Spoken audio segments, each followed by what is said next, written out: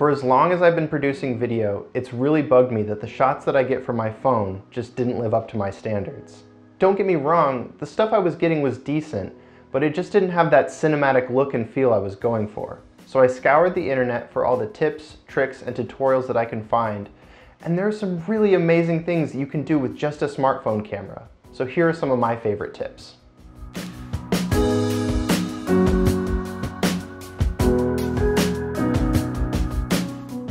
We've all seen the shot on iPhone campaigns or movies and shows like Tangerine and Unsane that were famously filmed on smartphones, and it's really difficult to wrap your head around how these were actually shot with nothing but a smartphone. But still, those videos are inspiring, so let's run through a few techniques that I've picked up to help you start shooting better videos with whatever smartphone you have in your pocket right now. For this video, I will be shooting with my own personal phone, which is a Google Pixel 3a. And while that's not a bad phone by any means, it's certainly not flagship level quality. So what I'm trying to say is that if I can shoot this with what is essentially a budget phone, so can you. The first step to taking your footage to the next level is to lock your exposure, focus, and white balance. You can do this in your camera app by pressing and holding on the screen over whatever subject you are trying to focus on, or alternatively, for more control, you can use a third-party camera app like Manual Camera or Filmic Pro.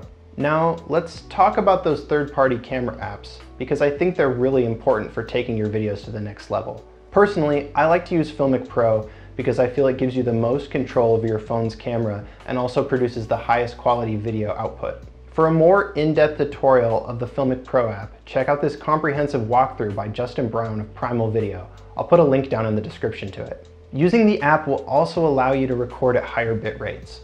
This allows for more information in each shot and will just give you more flexibility when you're trying to edit your footage later. In Filmic Pro, I recommend using the highest video quality settings, but be aware that this will create larger files and thus take up more space on your phone much faster. A good rule of thumb for shooting more cinematic video is to always use the 180 degree shutter rule. This essentially means that you're doubling your shutter speed for whatever frame rate you're shooting at. So if you're shooting at 24 frames per second, your shutter speed should be 148th of a second. Now this may seem kind of obvious, but you should probably be shooting horizontal video if you want to get more cinematic footage. Unless you're shooting for a vertical format like Instagram TV or TikTok, horizontal's the way to go.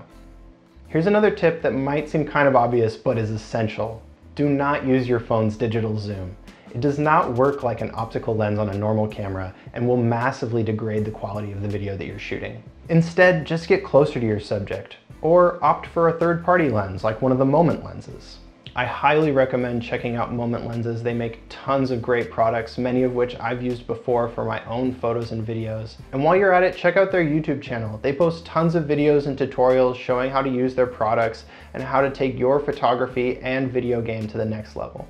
And my final tip is if you're shooting handheld video, make sure you're using smooth, steady movements. Nobody wants a shaky shot, panning all over the place, making anyone who views your video motion sick.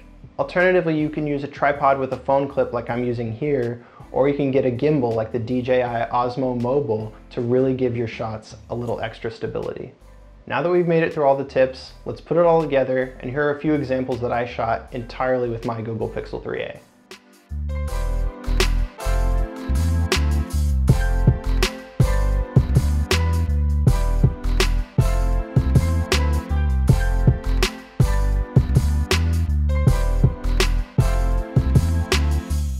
Right, so there you have it. I hope these tips can help you start shooting better videos with your smartphone.